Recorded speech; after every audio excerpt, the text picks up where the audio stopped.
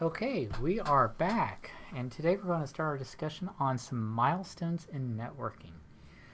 Um, this is probably the other major theme in the book. Not only have various types of computing technology contributed significantly to um, a lot of the advances in our society, um, changes in networking, um, communications uh, systems, the dispersal of information to individuals has, has radically changed our society. So I've mentioned in the past lecture that, you know, in the past we had, you know, the telegraph, the telephone, typewriters, teletypes, progressively making it um, um, the flow of information um, uh, quicker and quicker. It accelerates the speed at which information reaches individuals, right? And to progressively larger audiences, right? So those particular technologies in the first bullet point are obviously more um, text-based ones, right? Um, obviously, um, for the most part, except for the telephone. Telephone obviously is a voice medium, right? And there are pros and cons to each of those, right? So, and um, some are more synchronous than the others, but they are technologies with which we were able to continually spread information more quickly. Um, it allowed um, more individuals to participate in the spread of information around the world, right? So, and it provided um, mechanisms by which um, to interface with other devices, right? So, and then obviously radio and television were mass market mediums that were that allowed us to um, reach um, you know, uh, sizable audiences. Um, obviously, at the very beginning, neither radio or television um, were able to reach a whole lot of folks, and radio was not even envisioned necessarily as being a um, entertainment medium at first, right? Um, it had other intended uses, um, just like the telephone had other intended uses, but people found other ways to make those particular technologies more useful to them. So, and then obviously, um, you know, in the early days of computing, the, the ability to have sort of remote computing or time shared computing um, has kind of found um, found its way into our society. Um, obviously, we take advantage of remote computing to, to a great extent today to reach computing sources that are fixed or um, otherwise can be moved around easily and need to be utilized by multiple uh, individuals or groups. Um, ARPANET is obviously the um, predecessor to our modern internet, and it was responsible for being sort of the um, incubator for many of the uh, internet-based applications that we have today, right? Electronic mail, chat, um, uh, file distribution, that sort of thing, right? And then obviously our internet, our network of networks, right, um, that, are, that has global reach now, um, is uh, very fundamental and important to our everyday life of um, conducting business and communicating with uh, with folks, and just um, it's an essential part of our life. It would be very hard to go back to a non-internet world. Not impossible, but it would be difficult, right? Um, Obviously, uh, broadband communications has helped in making the internet more accessible to more folks in more places. And these numbers here that you see are dated based on this particular book, right? So it's a 2017 edition-ish, I think. So back at time this thing was published, Japan was obviously the first in the world with an average speed of 63 megabits per second. South Korea was second at 40, and poor old United States was down at number 15 at 2. Not even typically enough for one high definition stream, right?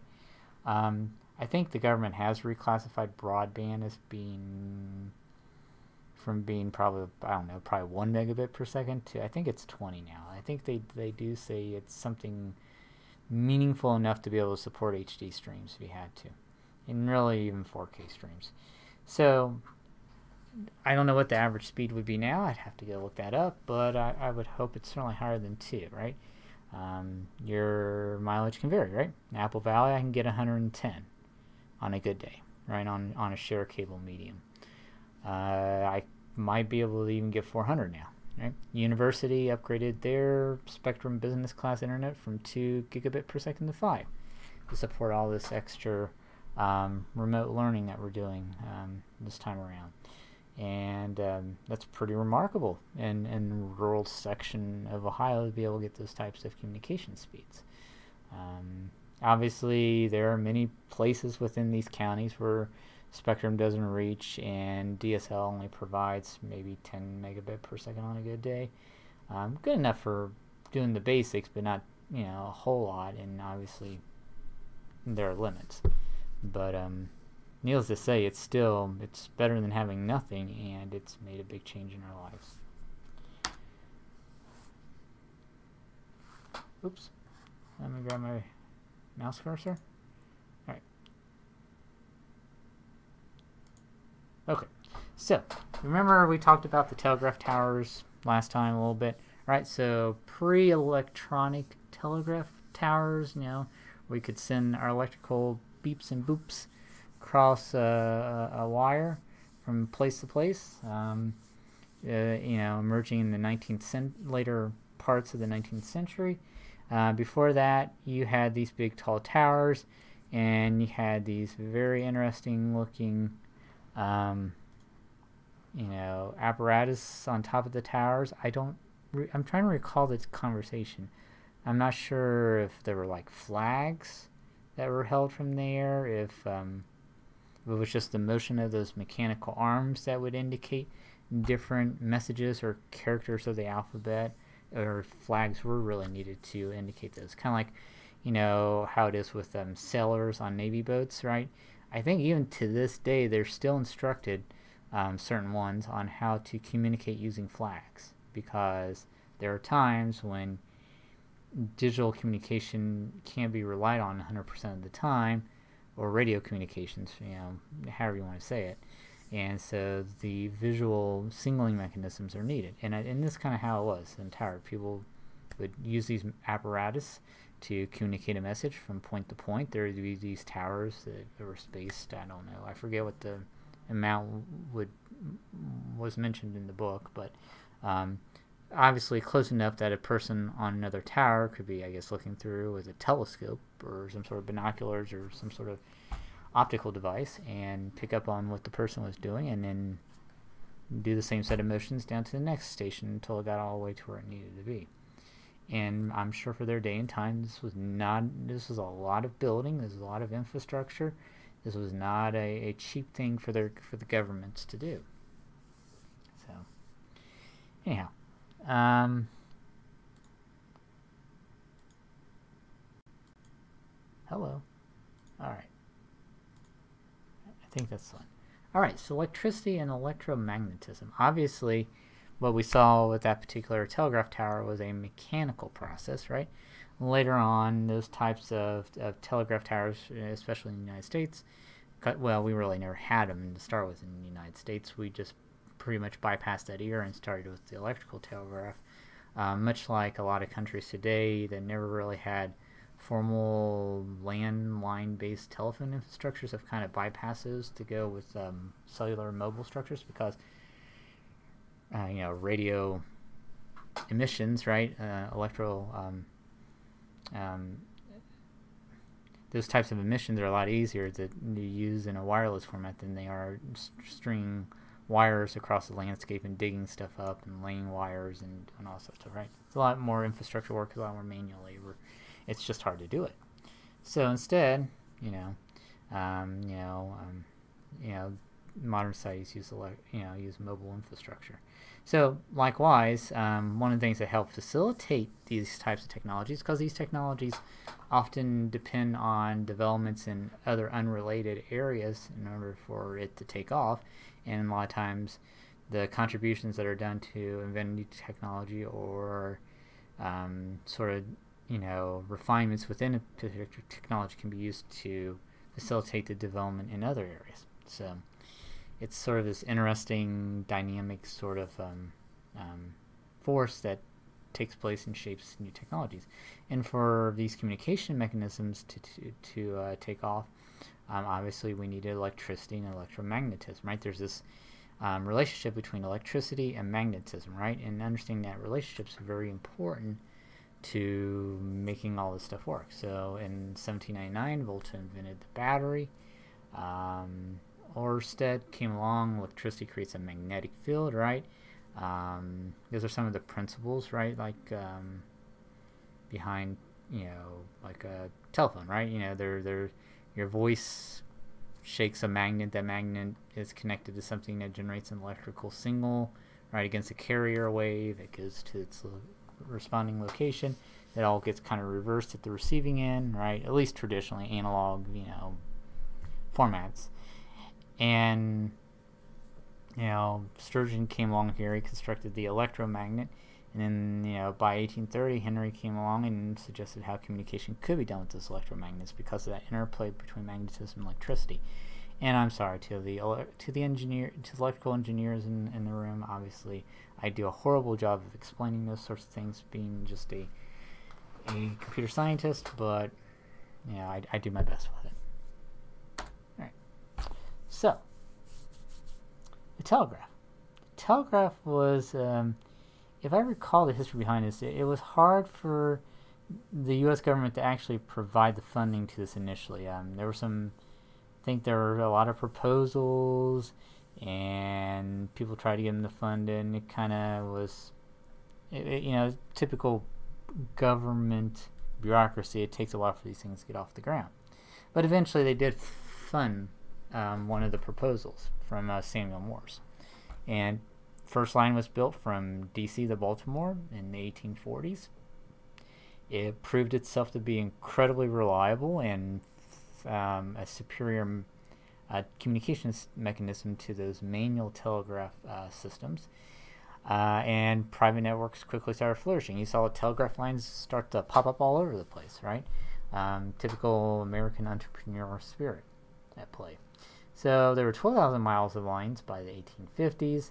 Obviously, the first transcontinental line came about 1861 and the Pony Express had been operating for several years in that time, which provided for rapid delivery of written correspondence, quickly went out of business, right? And um, and by 1877 there was 200,000 miles of line, right? So within a generation, basically, you know, um, this this communication mechanism had just exploded in in size and there were all sorts of ancillary um, refinements that were able to be done, right? There were fire alarm boxes, right? So way back when, in the 19th century, um, when you didn't have telephones and you didn't have GPS systems and all that sort of stuff, um, in very large cities, fire departments needed to be able to figure out where fires were had started and route the appropriate you know, fire apparatus, such as, such as it was for that time, their equivalent of a horse and buggy fire truck, um, to the right location to try to put out a fire. So telegraph wires were connected up to these fire alarm boxes. If a fire developed in a given region of a city, someone could go out and activate one of these fire alarm boxes that would send a signal to the appropriate, you know, fire station, and it would just provide a pre-recorded identifier of which um, box was triggered. So they kind of have a rough idea of where the fire was was uh, occurring, and then they would travel to that general area, and then hopefully it'd be obvious where the fire was at that point. And then obviously, along with fire alarm boxes, there were police call boxes, right? So when people felt they were in distress, they could do that. Now, obviously, this was a technology outgrowth that could only be financed and supported in, in the largest of cities, right? And um, in, in probably some medium-sized cities, I guess if they were forward-thinking. This is obviously not something that you were going to find find everywhere. Right. And then obviously this picture just demonstrates obviously the Pony Express and the last remnants of rider going by as they're stringing up this transcontinental telegraph line, right? He's looking there, he sees this job is, uh, yeah, I'm, I'm going to have to find some new work to do and that's and then that's just the nature of technology, right? New technologies um, don't develop in a vacuum. Some technologies, um, you know, will displace people um, in in certain professions, right? They're going to lose their jobs, and hopefully they can find new work, or hopefully there's some sort of um, you know private or government program that can help them train them in or, um, into some new line of work. Um, sometimes people kind of get lost in the mix, and that's just the nature of technology causing societal disruption. And it's something we can explore in our in classroom uh, discussions about the ethics of how technologies can cause some people to lose their jobs, can cause the creation of new jobs. Um, how do people bridge um, from working on one type of technology to another? Um, how do they respond to those situations? What should we do as a society to help folks out that are displaced uh, by newer technologies? Right. So, obviously, the follow-up to the telegraph is the telephone, right? And again, taking advantage of that whole electricity and, and magnetism um, relationship, right? Uh, in microphones and speakers and that sort of stuff. We were able to put together, you know, essentially the telephone. Right, so Alec, Alexander Graham Bell constructed the harmonic telegraph, which, if I recall the, the book discussion on this, this was something that allowed basically for parallel, um, a parallelization of communications to take place. Right, you could have multiple conversations go across one line. You're just kind of duplex. You know, you're you're essentially multiplexing those conversations. You're making the communication um, medium more efficient, right? Um, and eventually, that didn't really catch on. It was a nice refinement. It was, you know, it was it was, a, it was a very interesting development. But he was still able to take that and kind of use that for developing the first telephone, right? And um, it had a big impact on society when telephone was developed. It was uh, you know, you didn't have to go to uh, a store somewhere, pay someone to transmit a message, a, a very pricey message, generally speaking. Um, you know, you didn't have to, you know, and then wait for that message to be printed out and, you know, delivered to someone and have that person go back and, you know, communicate a message back, right? Again, at a very high price, so that's why the written letter was still used so much because it was a far cheaper medium, even if it took a lot longer to communicate with someone. Anyhow, so telephone comes along, and now it starts to blur the public life and private life boundary even more than what's already been done, right? So, um, um, it eroded traditional social hierarchies and reduced privacy people wrote articles about the dangers that the telephone was going to introduce into the house, uh, household, the common household. Some thought maybe should only be limited to business use, that sort of thing. Um, people worried about, um, you know, certain, you know, formal mannerisms going out of style because of the telephone, right? It was going to create, create distance between people and that sort of thing. Um, but it, but the telephone also did things like enable the first online communities, right? So a lot of phones, everyone kind of shared that same connection, right? They were called party lines back in the day. And you picked up and you could hear everyone else's conversation, right? In order to actually reach someone specific, you had to use an operator and provide a, some sort of identifier to that individual, right? If that was even a, a you know possibility. In the really early days, you just picked up and see if the other person was there, you ask someone to go tell someone to pick up the phone, that sort of thing, right? So that those mechanisms of addressing and being able to reach individuals and having operators to help you know connect those calls and stuff came along later. So typewriter and teletype, right? So the typewriter allowed for the individual production of typeset documents, right? So and it, it was a, it was a game changer. You know, writing can be slow and laborious and and it's hard to correct mistakes and that sort of thing on on, on, on paper and pencil or pen, right? So it comes along and it's great.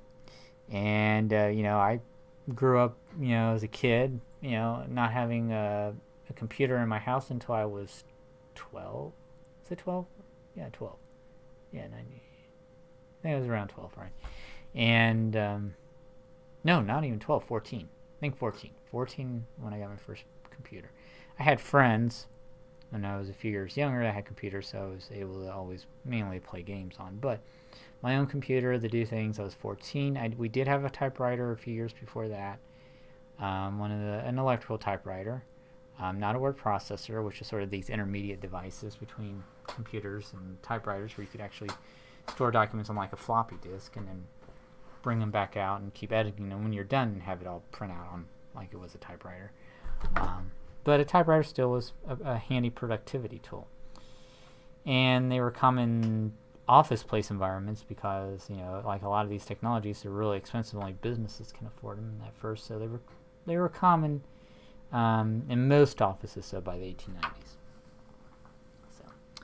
And teletype, um, it's just basically a typewriter connected to a telegraph line in the early days. Later on, they were also used in as an input and output device in early uh, mainframe, you know, or terminal um, uh, mainframe systems. They were used like a terminal device in, in certain um, systems um, in early computing days.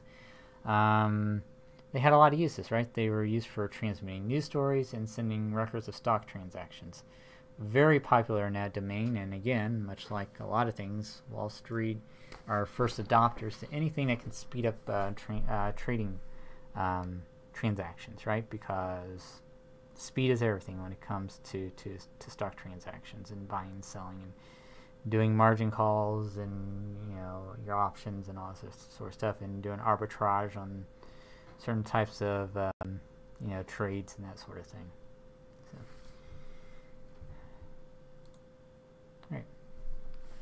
Radio, um, obviously, radio just wasn't invented all at one time. It needed a lot of different technologies to be developed for it to be um, to come and, and to be realized as its own thing, right? So it depended on people like Hertz that generated um, and did a lot of research and studies around electromagnetic waves.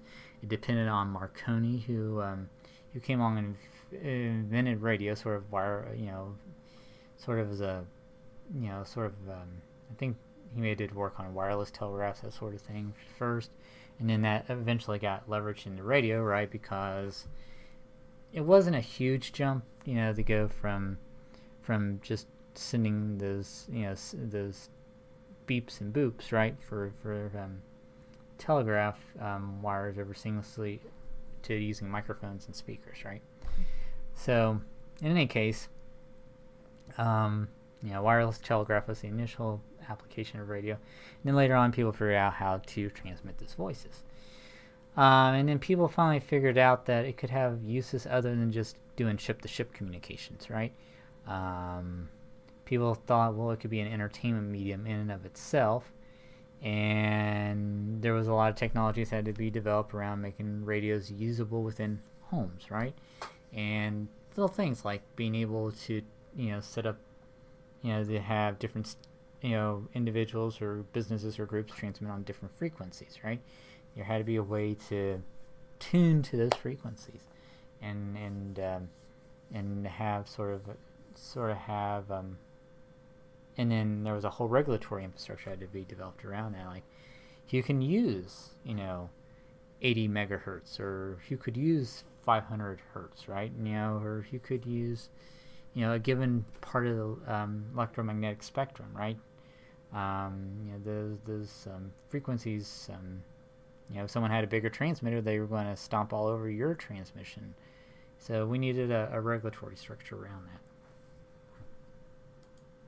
Okay. So obviously, again, not all this technology didn't come about all at once, and there are variations of it. And the radio and the television um, technology developments are studied a lot more in, in, the GPS technology course. It's really fascinating stuff. Um, but in any case, um, it became popular in the 50s. Um, although the earliest televisions were invented, um, I think most of the earliest attempts were probably late 30s. I forget if it followed back to the late 20s or not, but early there were early attempts back into the early 30s on it. But like a lot of technologies, it really takes 10 to 20 years of work on it to get mass appeal from it. So, you look at the research papers now, and you're seeing thing, new things that people are developing in terms of new technologies or new inventions, or you're looking to see what researchers are doing at universities. Some of that stuff probably won't see um, its way into our society now until the 2040s. The stuff that's in academia, right, or in the industrial research labs, right. You know, some of it may come quicker than other aspects of it. Just depends. And, you know, there's no, you know, no um, rule that says something has to take 20 years of development to be uh, completely realized as an invention and make its way into society. Some things go quicker. Some things take a lot longer than even 20 years. So, in any case, um, te with television, it became popular in the 50s, right? These little black and white TVs, very small screens, very expensive um, initially, and then obviously, like a lot of things, the prices started to fall dramatically on them, and, and more and more households could afford them. And the number of stations increased, obviously, because you had lots uh, more individuals and families that were watching televisions, and it provided a, a way to entertain people, to tell people about the um, important events taking place in their communities and in, in the nation at large. And it had a huge impact, right? Life shifted to around uh, families being around the TV in the evening hours, right? Before that, it was the families gathered around the radio, and uh, a lot of the more like um, like the soap operas made a transition from the radios to the television, for instance. Um, a lot of the other dramatized, productions went from from uh, radio to television, right? What did the radio keep for the most part? Well, it kept um, you know talk programs of one sort or another and, and music, right? So, um, not that you couldn't have it on, on TV, but it tended to lend itself to other types of programming, right?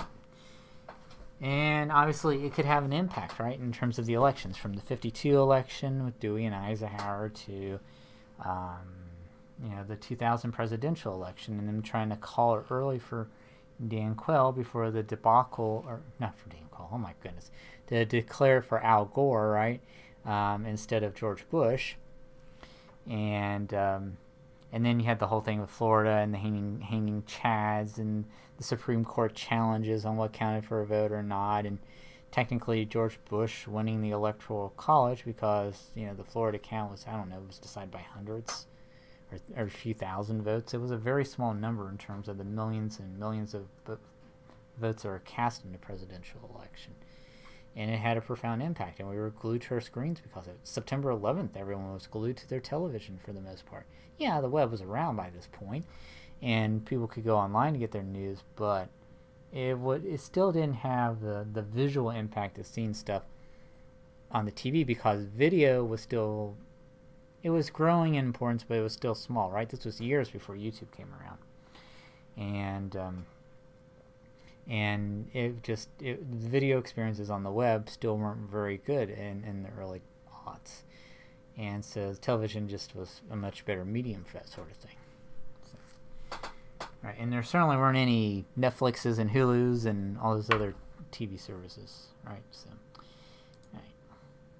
So obviously, television allowed us to watch the first man walk on the moon, right, in 1969 with the Apollo missions, and that was profound. That was a momentous event, and for a lot of people of that day and age, everyone kind of remembered um, where they were when they watched the first man uh, step foot on the moon, and that's still something you know as our society we haven't really gone back and did it because it cost the equivalent of a trillion dollars in R and D to do that, you know, in our in our day and age. So, um, but that was remarkable. You know, we could see something delayed by you know seven seconds or so, or whatever it is for the speed of light, but there you go. It was it was remarkable. Um, you know, it, it, was long. It was before my time, obviously, but um, it obviously had an impact on people. So, and hopefully, we'll get back there in a few years. Alright, remote computing was obviously uh, an important development in terms of network communications technologies. Alright, so Stibitz and Williams built the complex number calculator at Bell Labs, right? Uh, Bell Labs, um, a lot of these um, um, 20th century companies had huge R&D labs that allowed for the development of a remarkable set of applied technologies. And to some extent, basic research could be done there, and companies were supportive of those basic research efforts. Um, less so as the decades would wear on, and stockholders would be demanding, you know, quicker returns on their investments. And R&D labs were much more um, centered around um, using their R&D dollars towards applied technologies that they could be sure of getting a return on. And that obviously drove things towards more and more applied research efforts. Um, but anyways, not, you know, back in the day there was more room for that stuff. Anyhow, so in terms of remote computing, so you have these mainframe systems, and if you could, you know, and obviously they were operator driven, so you only had one person that could access the system at a time. You had to bring your decks of punch cards into the to the computer operator. Have them, you know, if you didn't do it yourself, you had to load in your compiler or your your loader program. You had to bring in and load the program, and you had to run lo load your data, and you had to crunch all that data and write it out somehow.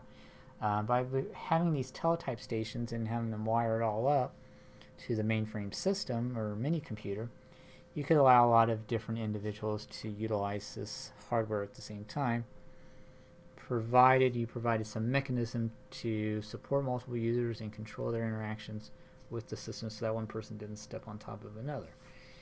And um, teletype was a primitive method of doing input and output, but it, uh, you know, it allowed for that.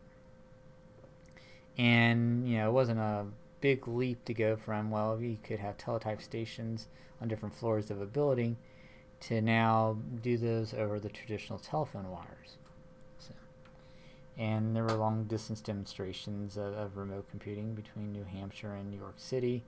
I probably have some links to it in the supplemental resources that you can look at. Alright, so ARPANET. DoD created the uh, ARPA in the late 50s.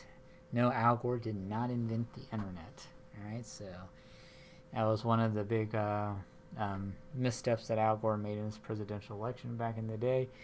I'm sure it's kind of been blown out of proportion over the years versus, with what he said versus the reality of it. But, um, you know, like a lot of these things, the quote unquote internet, as we take it, which is really made up of a lot of technologies, was created by a lot of different researchers and individuals and supported by different groups. Right?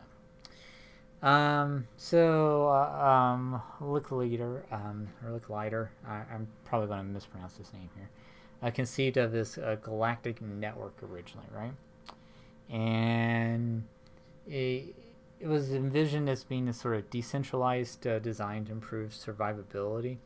And not, and, I, and everyone always makes a joke. Well, it was designed to survive uh, a nuclear explosion, some sort of nuclear holocaust. No, the ARPANET, that's a misstatement. The ARPANET was not designed to survive a end of the world you know, apocalyptic, you know, large scale nuclear strike, right?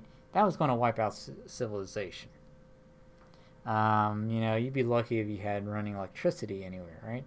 Um, but with that said, it was designed that you could knock out a node or two here and there, and the network would still find a way to route information from one point to another around the, the parts that were taken out. So it had resilience, right? Some level of resilience. So, and then eventually they we figured out that packing, packet switching had a lot of advantages over circuit switching. Uh, circuit switching still has its particular advantages in certain cases, but packet switching uh, overall is a superior uh, communications technologies for networked computer systems, right? Right. And basically, um, circuit switch versus packet switch.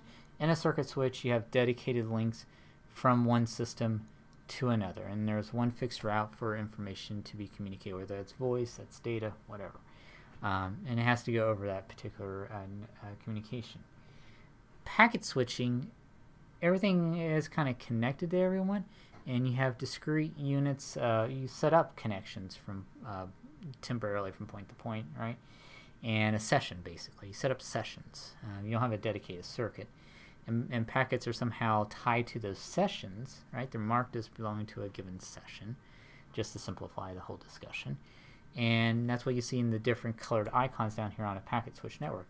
So all these items that are white, I guess in color, are associated with communication from this system. Um, uh, I guess they're white. I guess that's white. There's white, gray, and black. So there's this white packet, and then that packet's here, and then that packet's here, and that packet's here, and it reads the system. So it goes from this system to this system over a given set of links, right? And then you have this gray packet that starts here on this other system. It's a gray packet here. It's on the same link that we sent the white packet and, all, and then also this black packet over.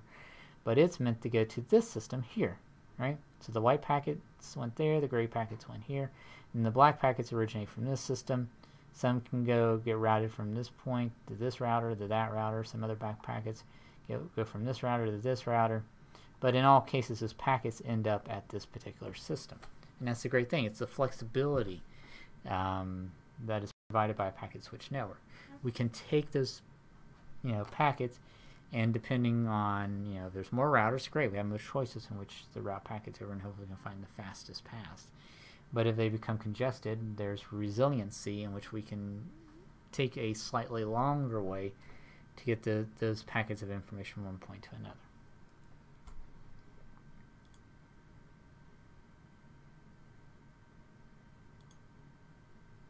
Oh, I'm getting click happy.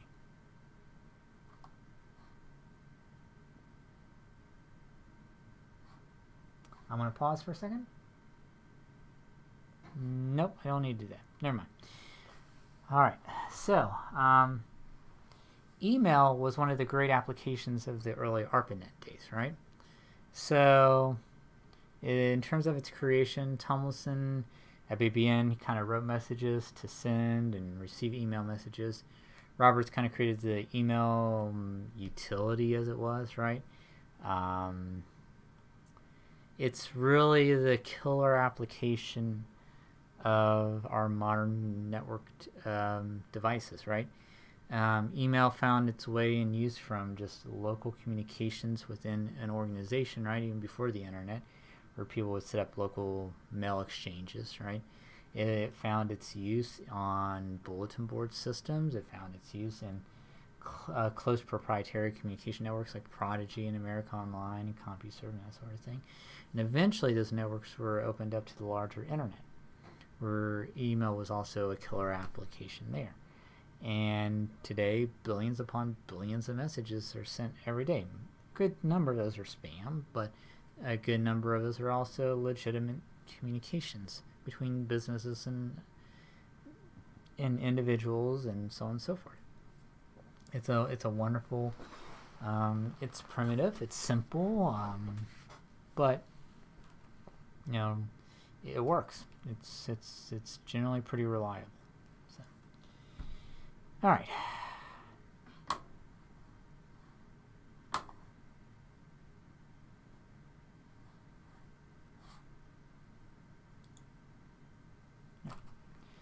So the internet, right? So Kahn conceived of there being a sort of open architecture and networking, and then obviously Cerf and Kahn designed the TCP/IP protocol for you know what was originally the ARPANET because we needed to have some session management and routing. Um, so, you know, we needed to have you know session management, transport protocols, routing protocols, hence the Internet Protocol, right? Um, we needed to have um, those types of capabilities built into the network to make it a, a reliable one.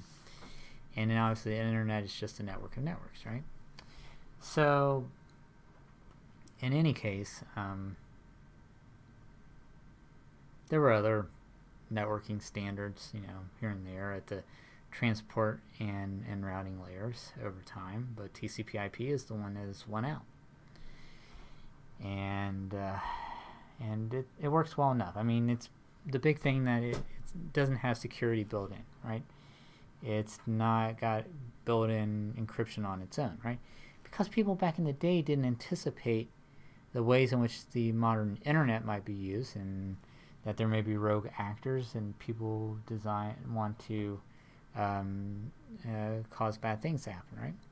So, and even if even if they had had the foresight of doing this, doing, you know, providing, you know, you know,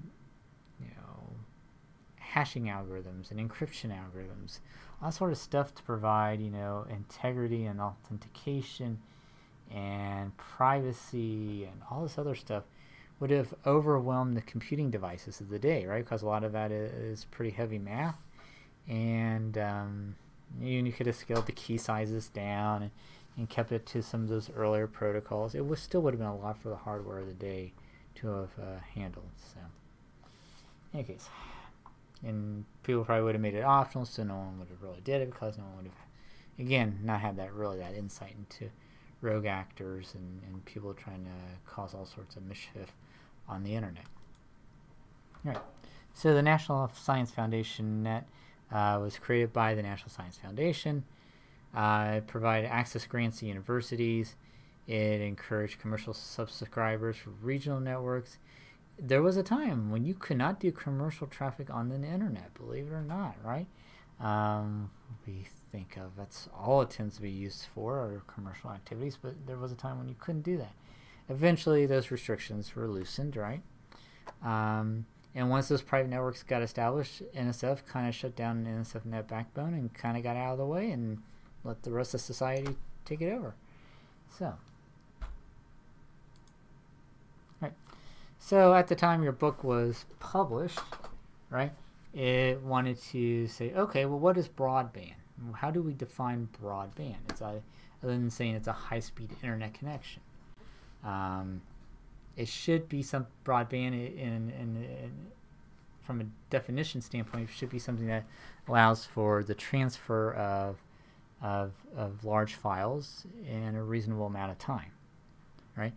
And typically that could be video files, right? And the definition and scope of broadband has changed over the years and decades, right? And obviously, with greater bandwidth comes people utilizing that bandwidth um, for all sorts of interesting applications, such as uh, file swapping. Sometimes of content that is not um, that has IP surrounding it, and it's not Creative Commons license, right? It's just outright pirated material. So, and at the time this book was done, you had typical broadband speeds. Say again, this sort of this is a different chart. It seems like these speeds are a little bit different than in the other uh, slide. 14, 10, 7.4 megabits per second, right? So 8 bits make a byte, right? So you divide that by 8, right? So you're basically talking about a little a megabyte per second of data. So, you know, it's basically a floppy disk a second of data for those that can remember floppy disk. So, um, and that's under ideal conditions, of course. Alright, so here was a test that I think I must have ran on my own systems. Oh, no, no. Uh, no, this is not on my own systems. Um, it's mobile data, and these are speed averages. Alright, so, um, obviously 24 down and 9 up is the global average back in 2018. Iceland, in this case, was ranked as being the first at 72. Um, and Canada, well, we go Canadians. How is that 59, right? And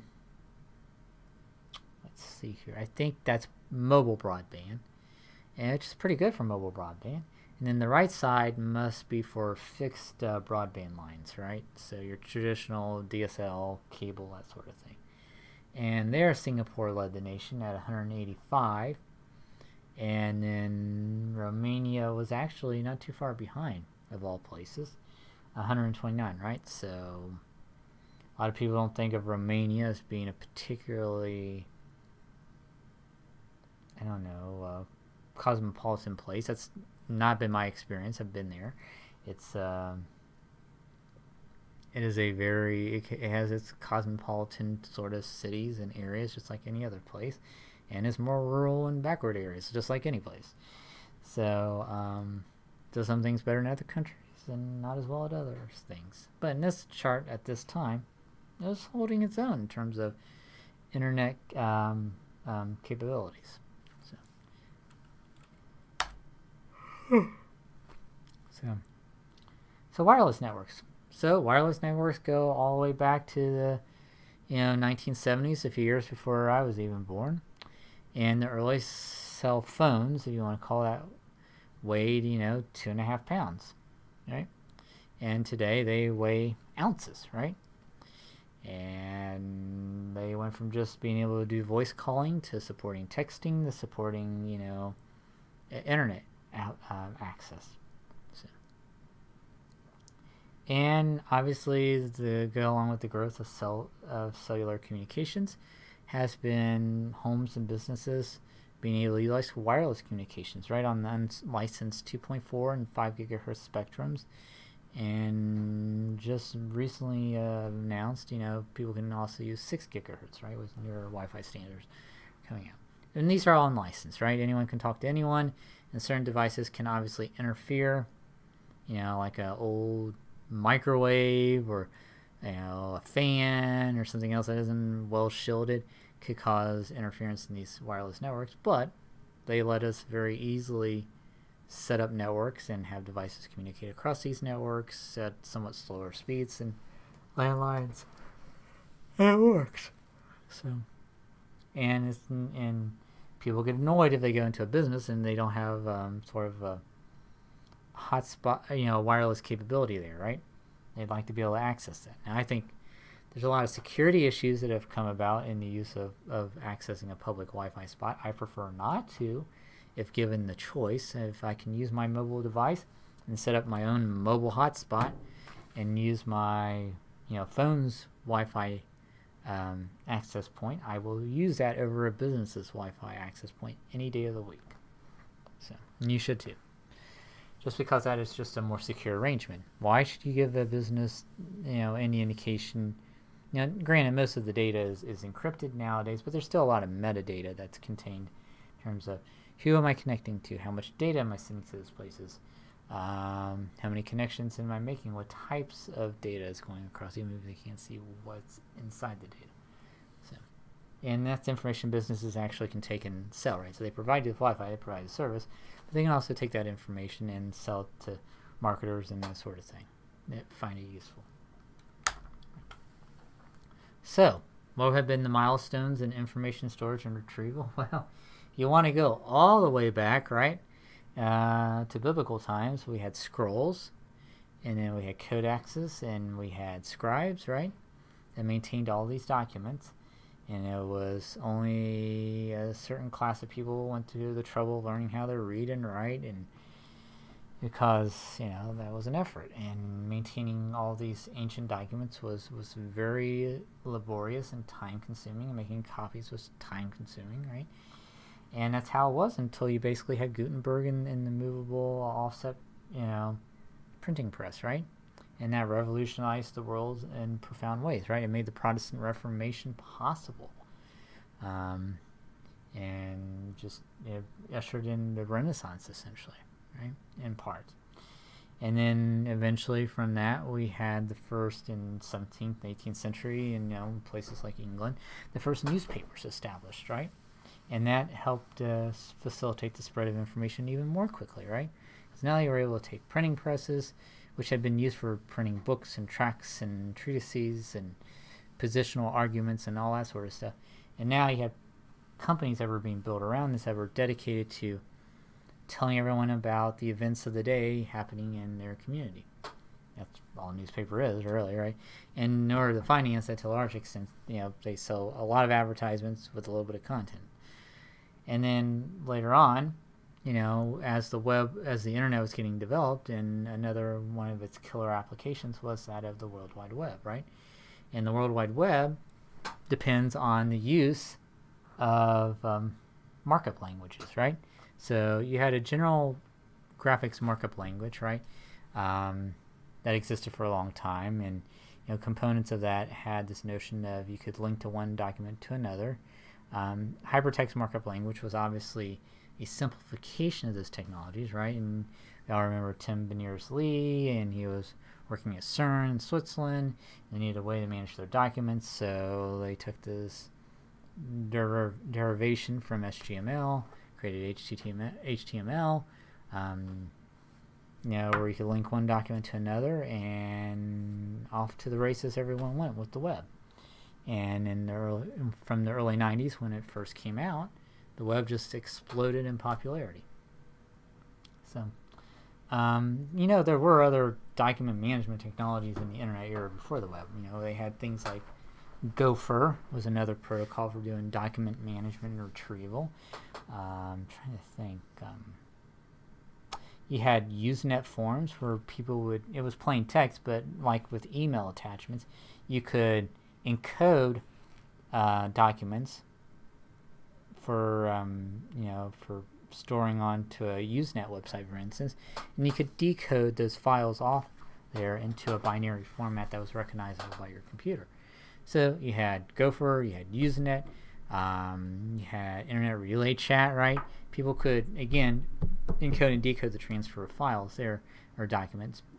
But the web just made it so much easier to um, facilitate um, the exchange of information over those other formats, particularly things like Gopher, right? Gopher allows out. No one goes to a Gopher site anymore. They still exist. Um, there's actually even a Chrome plugin for uh, Gopher, but um, it's sort of an esoteric thing. Not many people utilize it, not you know, outside of universities anymore, right? So, and obviously the web got huge and unmanageable, right? There were directory listings in the early days of the web.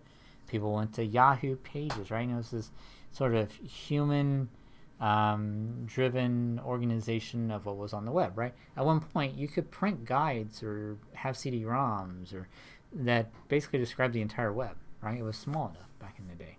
Eventually, the web got too much to do manual um, um, indexing, right, um, of it, and you needed these automated programs and crawler-based systems to kind of go across the web.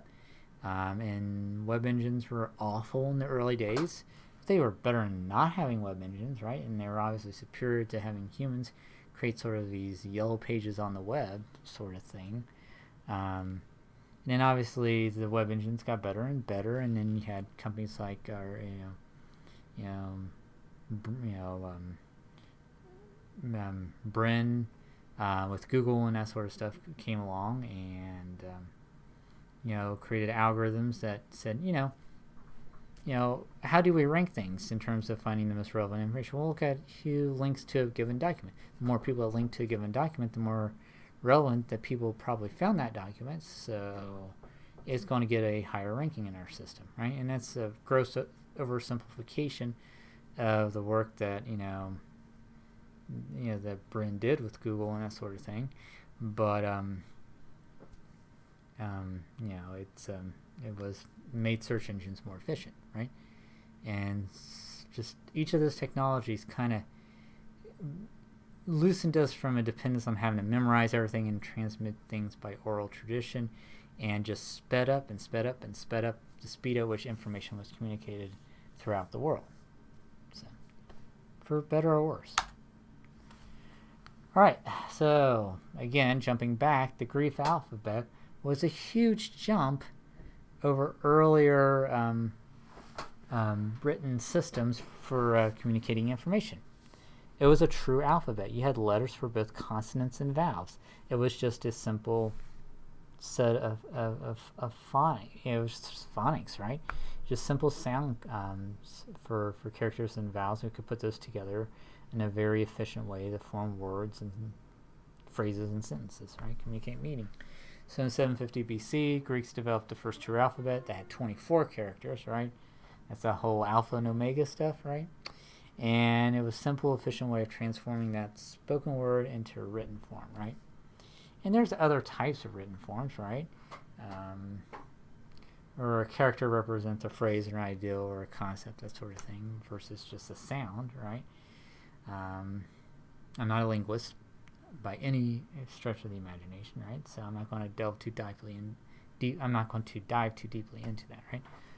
Um, and but in any case, developments of these more tonal-based alphabets, these sound-based alphabets, uh, kind of ushered in the end of oral uh, cultural uh, oral traditions and oral based cultures, right?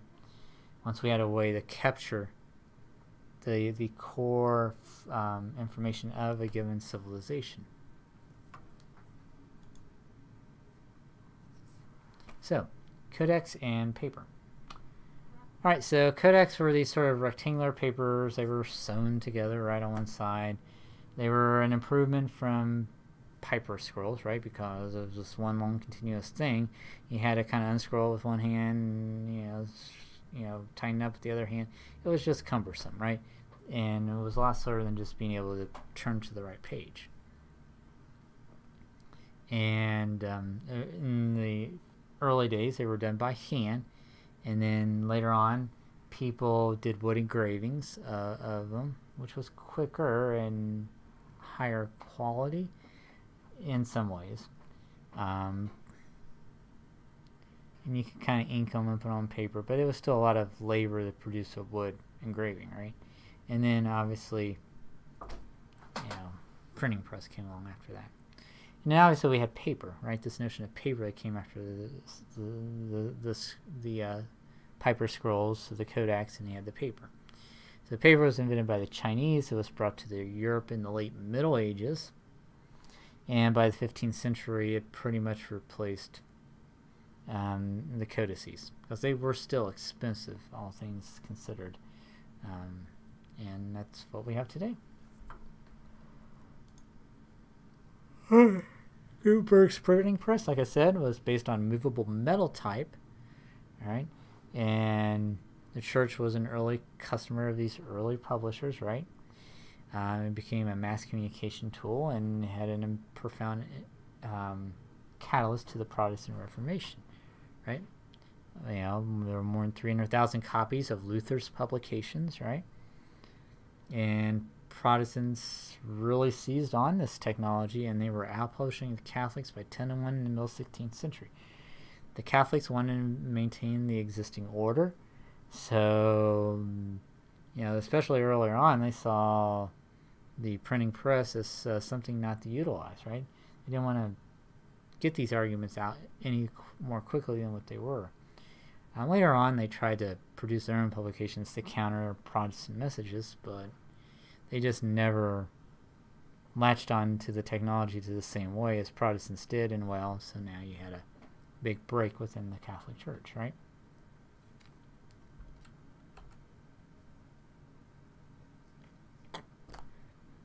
So newspapers stimulated free expression. And in the early days, newspapers were lots of advertisements. You know, they still were lots of advertisements even in the later days. A little bit of content, and generally, still the case today, highly sensationalized content. Although there are more rigorous safeguards put into place in vetting of sources that occur now that never happened in the early centuries of newspapers, right? Much more early newspapers were much more gossipy materials, right? It's just not like the page six stuff, right? Or that's in New York City, or you know, or the um, tabloids in supermarket that you would see, like you know, you know, I saw an alien UFO, or I was, you know, you know medically probed by aliens or that, that sort of stuff, right? So, um, governments generally responded to newspapers um, to try to clamp down on their free expression by requiring licensing, by uh, by just outright saying you cannot publish this. This is a dictate. You are not going to publish on a certain material, and all governments do that, including our own. Um, there are some censorship controls you know that try to get imposed for like um, classified information right um, and then obviously um, there's censorship over certain types of materials right? Um, so it had an impact newspapers did on the American Revolution right? So papers originated in England right? They found their way pretty quickly over to the colonies in terms of, of the communication mechanism. And they had the role of helping to unify the colonies. And they really swayed public opinion, um, the people who were writing these publications and the other pamphlets that they would print, towards um, moving towards independence, right? So.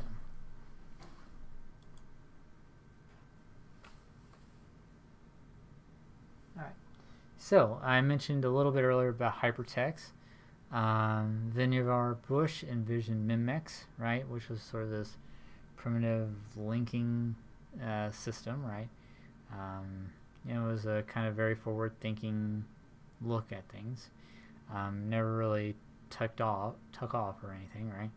So then you had T Ted Nelson, he coined the word hypertext, you know, in his, you know, stories, and proposed the creation of Xanadu, right? And then later on, you had um, Engelbart came along and directed the construction of the online system, right? He gave the mother of all demonstrations, right?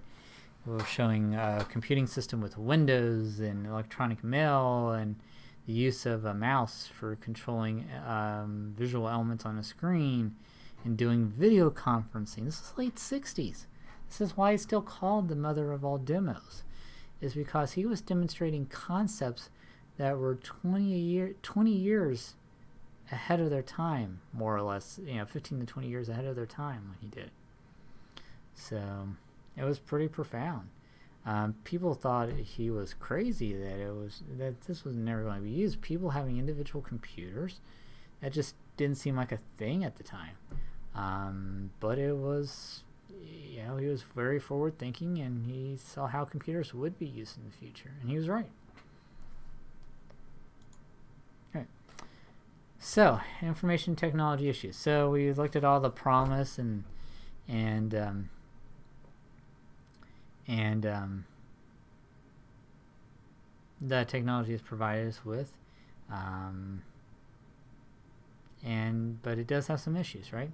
So what is information technology? Anything that can be used in the creation, storage, um, the modification, um, getting uh, information out to folks, right? Um, anything that can help with, you know, that involves data and sound and images, right? And that's computers and telephones and video cameras, and MP3 players, and so on and so forth. And the hallmark of information technologies has been for many decades that costs are falling and capabilities keep rising, right? So we get more for less.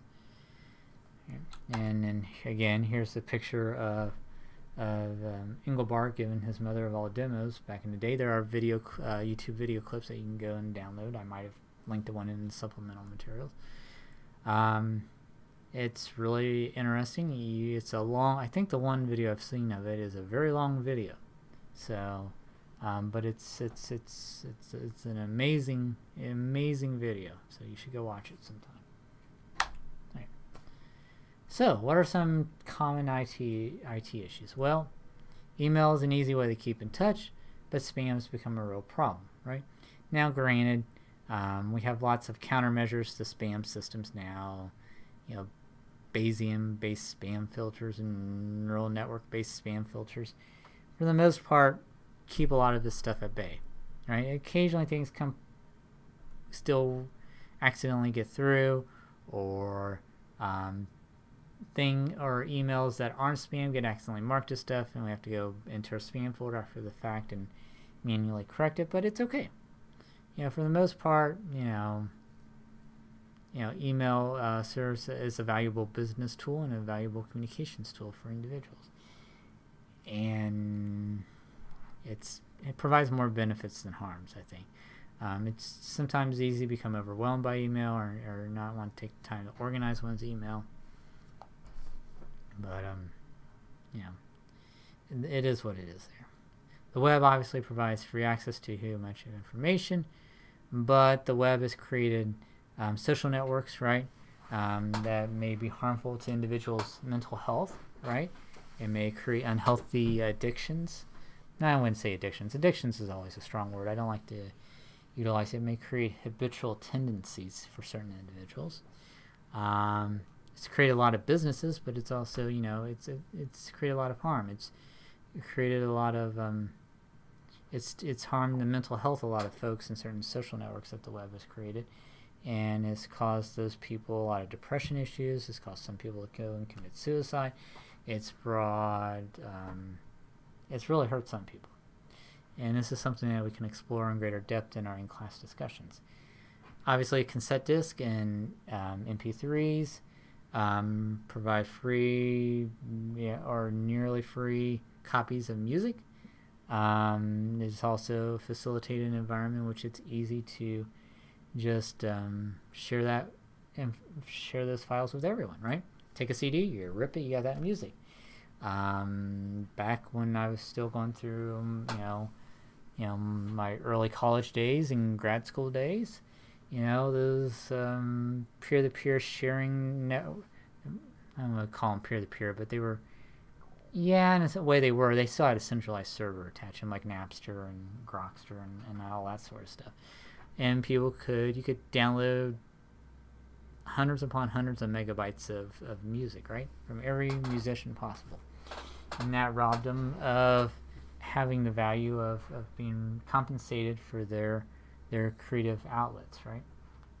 A lot of people would say, well, I can never afford this music on my own, or I just, um, you know, these, I, or I would never have been exposed to hearing these types of artists because I didn't have the money to buy all types of music.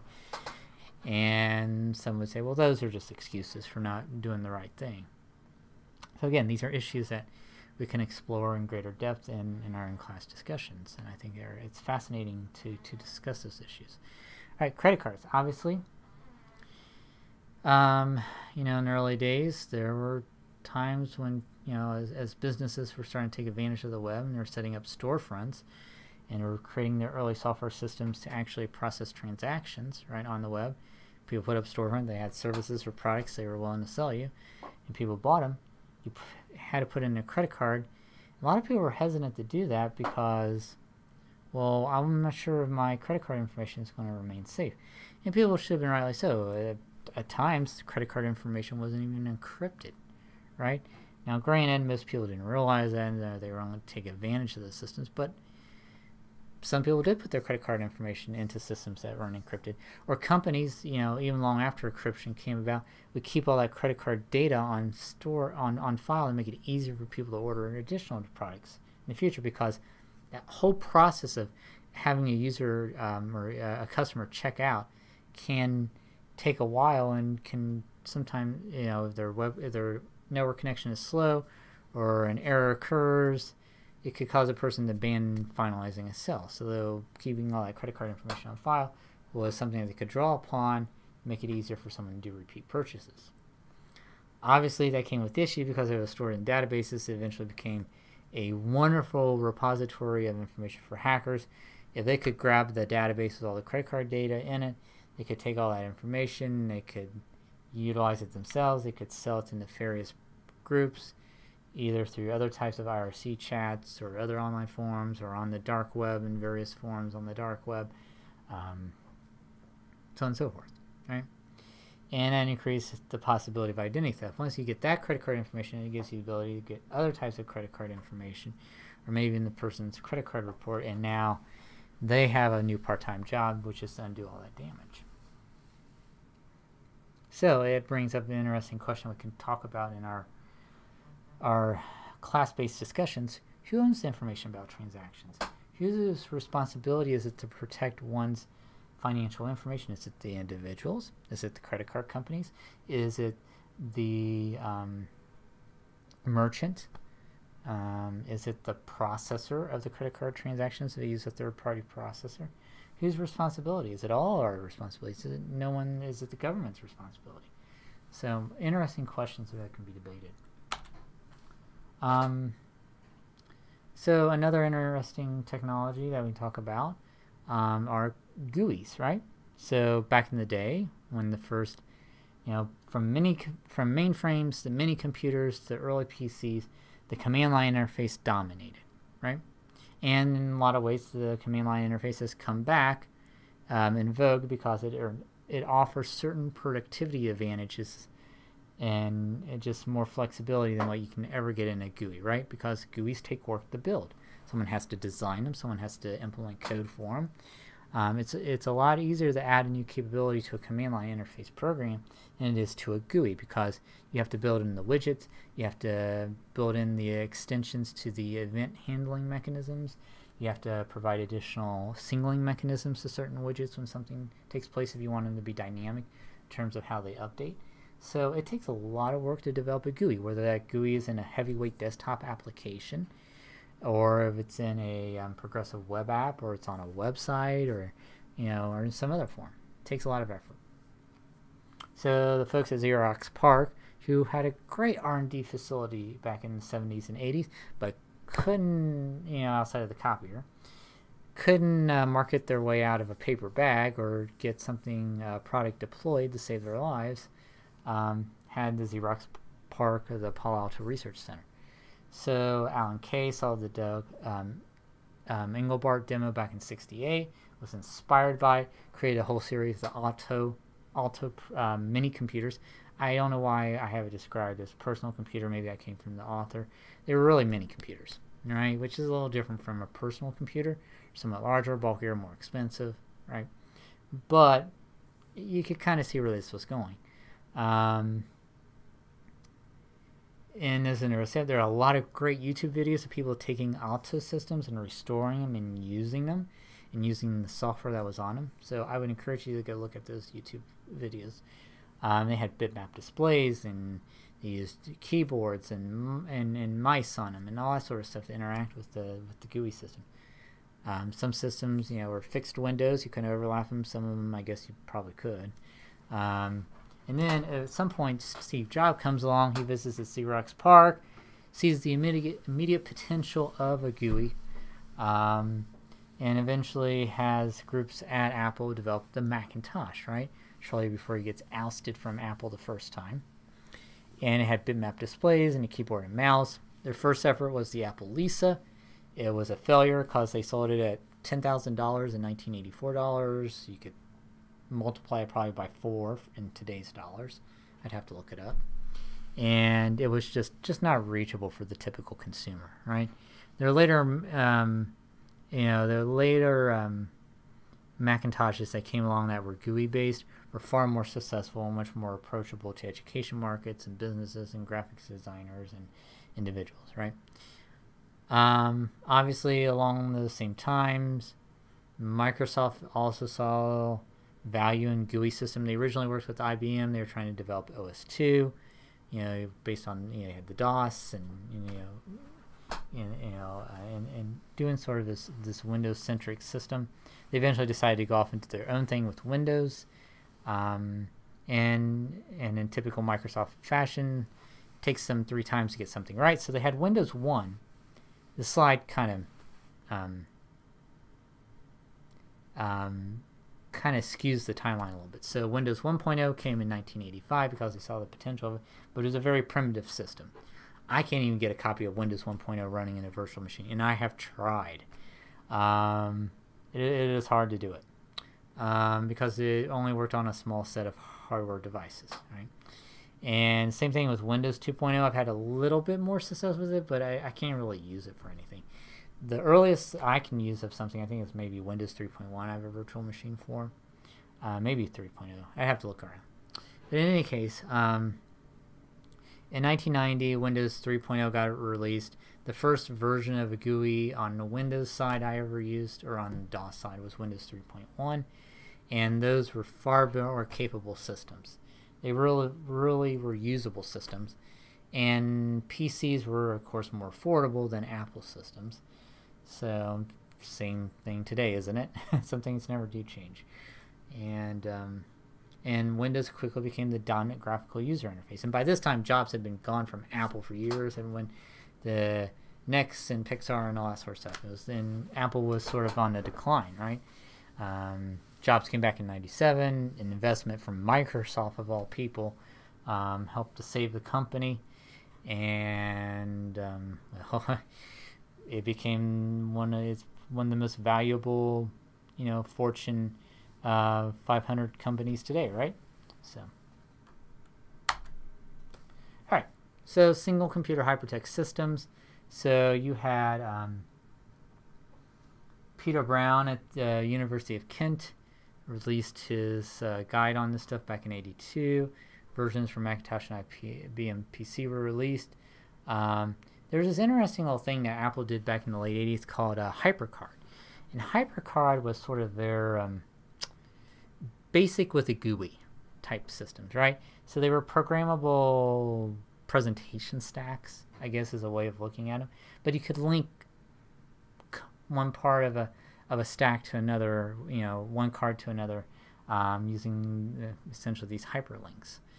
And the links were represented by buttons, and they were even the basis for games like Myst and and and, and, and Riven, right?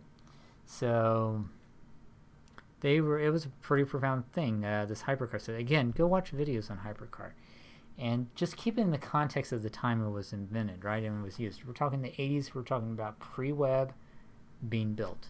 So.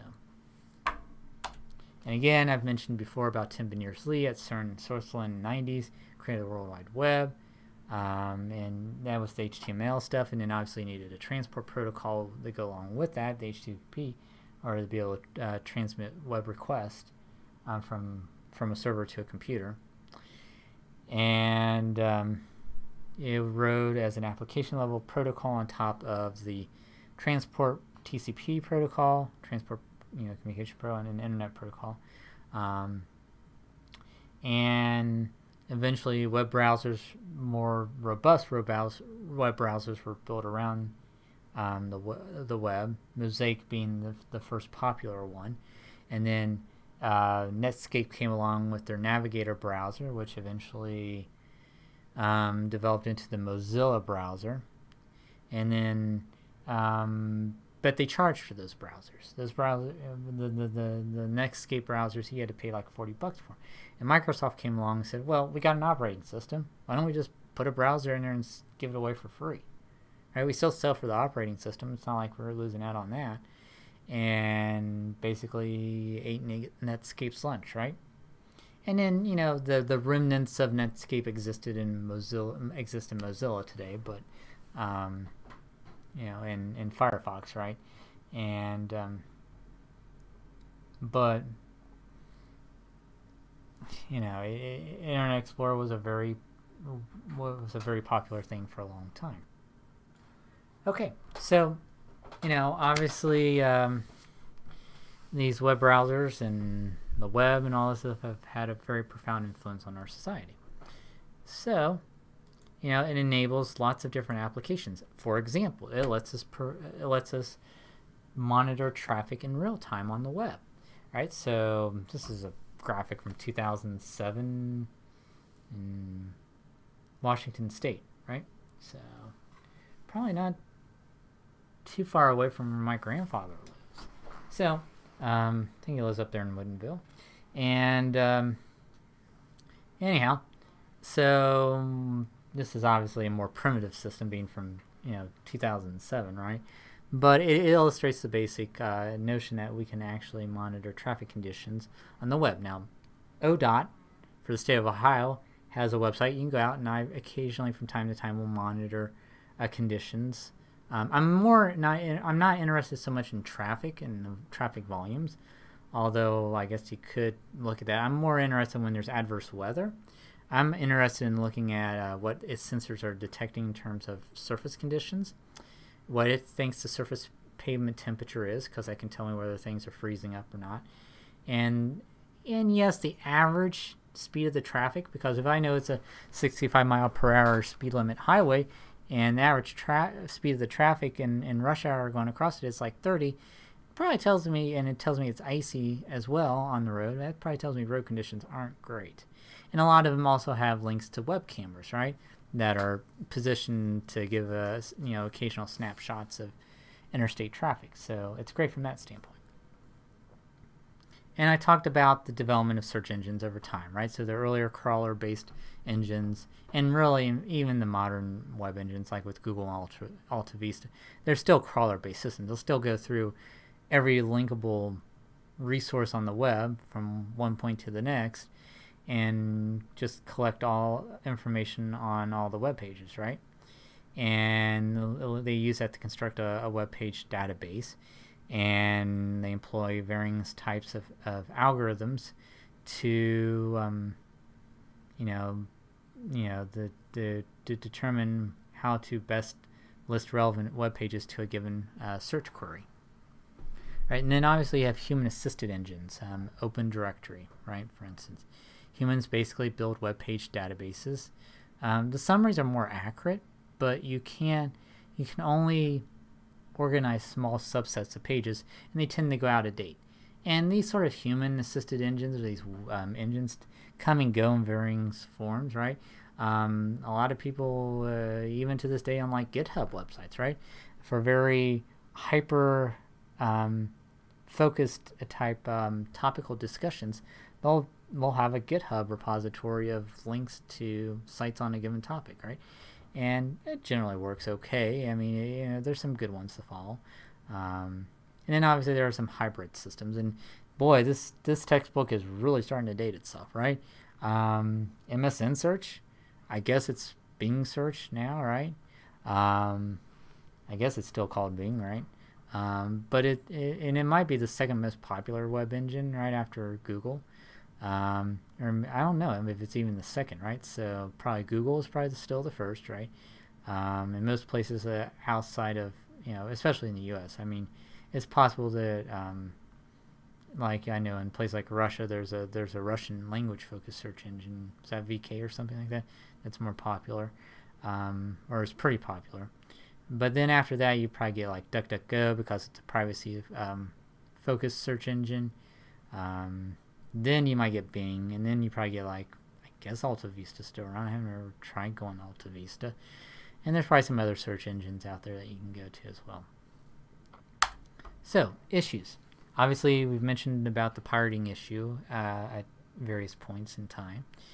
Um, obviously, digitization,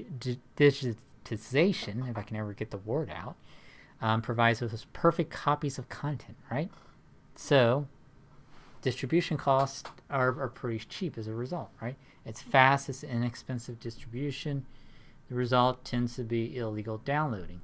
So, um, Although many here at the university would probably find the Games of Thrones not to be family friendly viewing, I certainly would not consider it family friendly viewing. It's definitely, uh, it would probably be, um, well, it's an HBO production, so obviously it's a, it's, it's it's it's it's not that.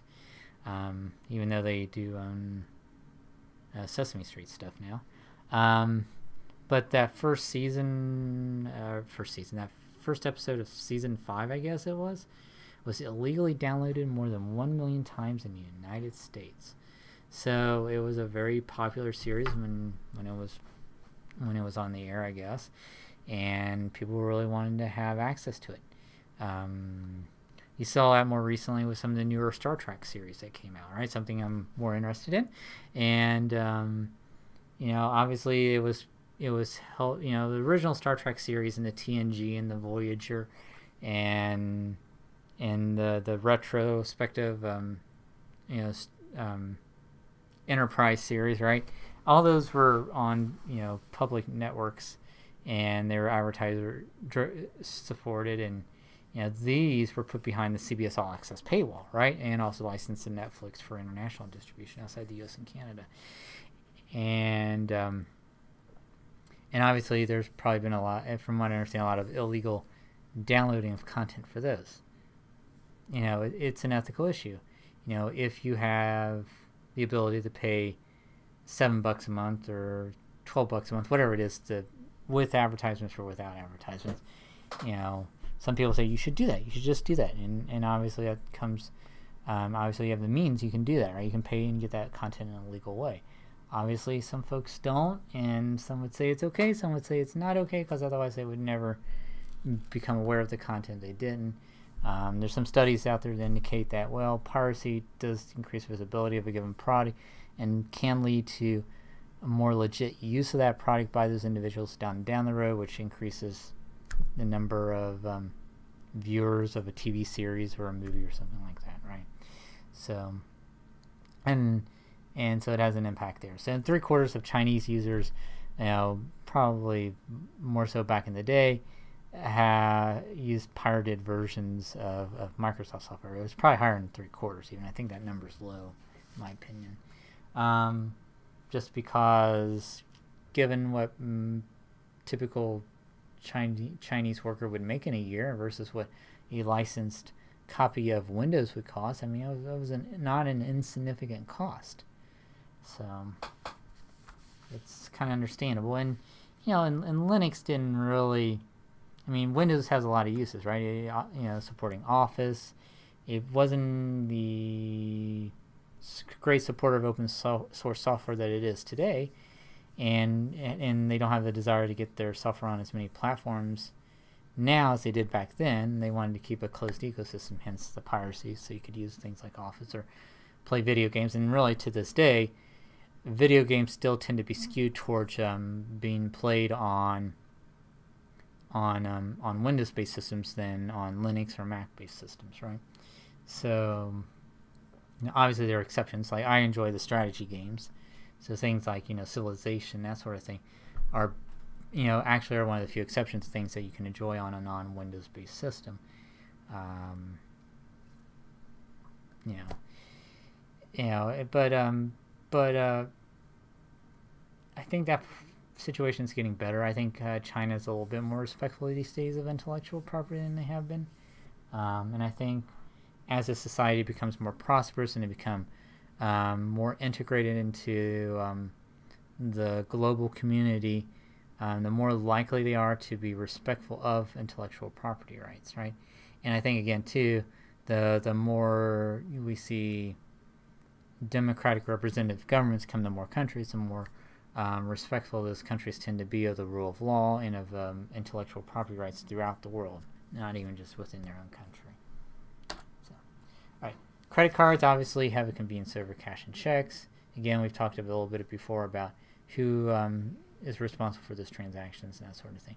Loan applications, they can be based on your credit history, not on a personal interview, right? So, and certainly in the case in the United States, our ability to secure home mortgages and car notes and uh, and uh, other types of personal loans to be able to get financing to go to college or universities. In some cases, it's based on our credit history. And we have a lousy credit history. We find it a lot, a lot far more difficult to make it through uh, life, right? So in order to get, or not to have to pay so much money in interest, right? That can be a drain too, right? We have better credit histories, we get better interest rates, which means it costs us less money to own a home or own a car or some sort of other product. So. And obviously there are issues, um, information technology, obviously in this day and age with the pandemic going on with telecommuting, right? There's a lot of issues. Before this pandemic hit, a lot of companies um, were, um, um were, were definitely against doing telecommuting. They only supported it in limited circumstances for certain employees. And some companies even had allowed some telecommuters to reverse trend. Yahoo, when Marissa Myers went the Yahoo said, no, you're all come back into the office. I, I, think it's important for everyone to be located in one building. There are certain um, synergies that take place that um, happen best in person. And, and, and, to some degree, she's right. Um, if you are on site working with others and not with a highly communicable disease present in your society, then yes, you know, there are certain things that, um, there are just synergies that take place. And can have certain types of productivity. Others would argue, though, well, it just gives a, a an environment which people can micromanage. And yes, it does. Certain companies, certain managers are going to micromanage, and they're going to create, in some cases, less productive environments because people are just always nervous and um, are stressed out by the micromanaging aspects. Some people do need to work in an office too, um, so telecommunication, they, they're more productive, right? I come into this office here, well, one, because my wife is a remote employee, uh, and she needs to utilize the downstairs office for her um, remote sessions that are online. So, pandemic or not, it would be much more difficult for me to work at home, um, find a, a, space in which to do that, right? I have my space in the office, but if she's using the office at the same time to do online sessions, it doesn't it wouldn't be very feasible for me to also be down there also talking on a remote session. So I'm grateful I can come into an office. Um, i feel blessed by having an office in which I can come and record these lessons or to be able to hold Zoom sessions remotely if I need to. And uh, it's been additionally uh, during the early days of the pandemic and the, the shelter in place um, and being able to be an essential employee and be able to come in here still hold my lectures was was a tremendous blessing for me. Um, I appreciate it a, a great deal. So. But telecommuting is a big issue, and it's going to be a big issue for you all as as computing professionals. Um, it has a lot of advantages. You know, with the with the, with the skill set that you have, in a lot of cases, why do you need to be in a given building to work on something? If you're not an embedded developer, why do you need to be at a, a space with specialized tools and and labs and all that sort of stuff, right? If I'm doing full stack web development, I can do that as easily from Mount Vernon, Ohio as I can in New York City. And it's a lot cheaper in Mount Vernon, Ohio to, to, to be a worker. I could work for less for you as a company, right? Um, maybe not a whole lot less, right? Um, ideally. So, but but then I'm probably going to be making more. I don't have to spend as much for my housing. I have to spend all the costs on a car and commuting all that stuff. And I have a lot more purchasing power for. Um, I can save extra money. I can make extra investments. I can have more disposable income. Uh, generally, it's a benefit in other areas of society, right? I'm not stressed out from all the time spent, you know, in traffic and that sort of thing. So there's a lot of great issues surrounding that. And then obviously things, we're going to look at communication issues, right, in this course as computing professionals. Um, how much of our personal information should companies be allowed to sell to other companies throughout the world? Should companies be able to outsource their jobs to other countries, right? That's been a big issue for computing professionals. It hit me especially um, hard as a computing, as a Gen X computing professional doing during two downturns, right? The dot com bust of the early aughts and the global recession of the late aughts, right? So, um, and we were particularly as Gen X workers and and early millennials to a degree were much more sensitive to the issues surrounding the outsourcing of jobs and others. A lot of cases, we were told that our jobs were being downsized, and not specifically to me. I, I was never in that particular predicament, but I, I knew of others and read stories of others who um, were found with situations like, well, we're letting you go. Um, you can get six months of severance or whatever the severance package was, but you have to train your replacement. And that's an incredibly demoralizing situation to an individual. My job is being lost. Someone is actually taking my job, and I'm training my replacement. And it, it created a lot of resentment among folks, especially if that job was going to someone that was overseas. You know, they knew that, you know, they were making maybe seventy thousand a year, but that replacement was making fifteen thousand a year in another country, and that job wasn't coming back. And especially if they had been in that job for many many years, um, people got bitter, and they got resentful, and that created a lot of particular political um, issues um, and shaped the political arena to some extent. So, um, and also, should companies be you know, what are the ethical issues companies have to be aware of, particularly if they are tech companies that just don't manufacture software. They make hardware and software, like Apple, right? What are Apple's responsibilities in their contractual um, relationships with, say, Foxconn, for instance, that manufacture, you know, Apple's, you know, iPhones and iPads and other uh, computing devices. Um, you know, pretty much anything outside of Mac Pros, right, that are still done in some cases in the United States, right? So, and with the World Wide Web, the World Wide Web has been a conduit for democratic ideals throughout the world, although we're seeing a balkanization of the web occurring in different countries with different nation level um, um, firewalls being placed. Not to keep stuff out, but to keep certain, well, keep things out from other countries, but also to keep certain things in in some cases. Um, do we in in the years and the decades to come see this this balkanization of the web where there's you know and we, I think we are I think we are. There's a North Korean internet.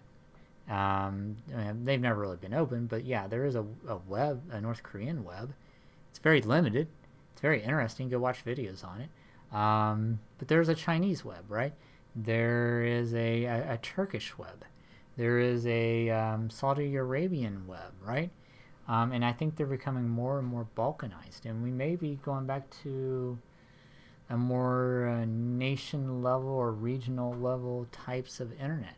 Or at least for certain countries that don't have very open democratic, um, democratic, um, democratic republican type of governments. Um, we're going to see this this restrictions on the freedoms of expression, and their net their internet's going to be very different from ours. And yes, you can get around it with VPNs and encryption to some extent, and so on and so forth. But it's always going to be a cat and mouse game. And in some cases, the web can be turned around by the governments on their citizens and be used as, as, as a tool for, for oppression. And what are the ethical issues surrounding that? There's some fascinating ideals, right? Terms of being able to turn around and use it for surveillance purposes.